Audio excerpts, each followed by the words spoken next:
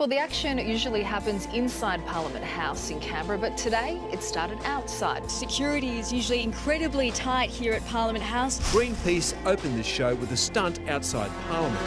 Greenpeace protesters have managed to climb two flag poles to unfurl a banner that is directly targeting the new Prime Minister, Scott Morrison.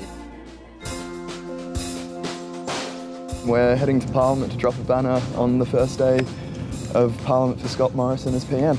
This is important to me because we've had a failure of leadership for over a decade on climate and Scott Morrison has showed that he's going to you know, betray the Australian people um, once again uh, because of, of his ties with the coal industry and we want that to stop.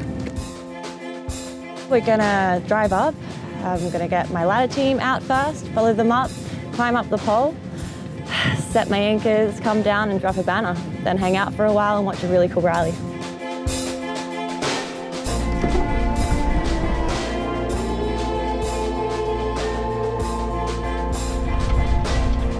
Our government doesn't have a clear policy on climate change. It is pro-coal, shown by the cabinet that was chosen by Scott Morrison, our new PM.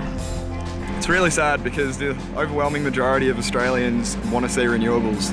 They want to see our emissions reduced, but our government just isn't listening.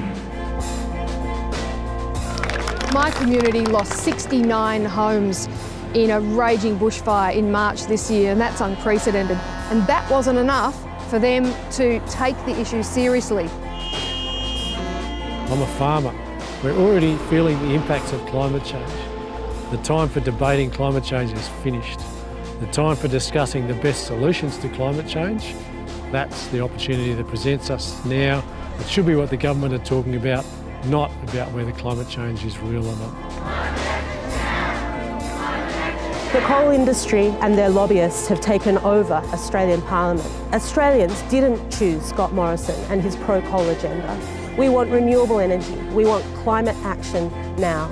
It's time for us to resist. It's time for us to take action for a clean energy future.